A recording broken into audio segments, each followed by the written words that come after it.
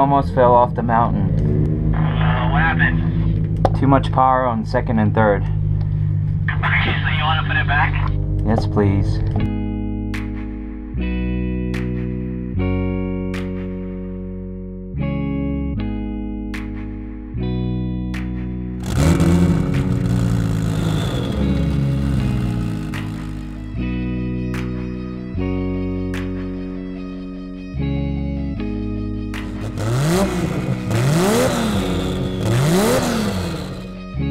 it's getting better. I'm taking a different line, so I gotta be patient on that one, or else I feel like I'm gonna blow the, uh, the drive shaft or the axle.